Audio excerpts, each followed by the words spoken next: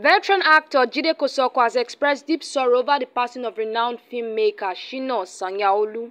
In an emotional tribute shared on his Instagram page on Wednesday, Jide posted a picture of Sanyaolu reflecting on their decades-long friendship and Sanyaolu's lasting impact on the entertainment industry. He wrote, Good night, my dear brother.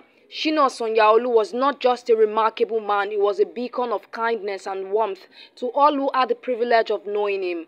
His love for the arts and his unwavering support for our industry were unmatched. Shina was always there for us, offering a helping hand and opening doors where there seemed to be none. For those of us who traveled to the UK in the 80s, he made it feel like home, welcoming us with open arms, giving us a place to stay, and even taking time off from his busy life to drive us around.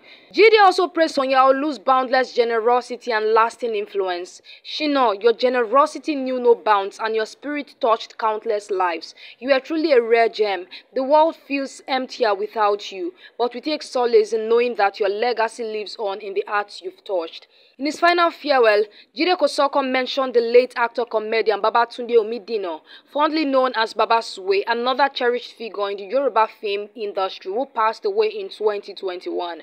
As you journey to eternal rest, greet your dear friend Babatunde Omidino and all those who have gone before you. Your impact will never be forgotten and your memory will forever be cherished. Shina Sanyaolu was a celebrated film producer and director known for his significant contributions to the Yoruba genre of Nollywood.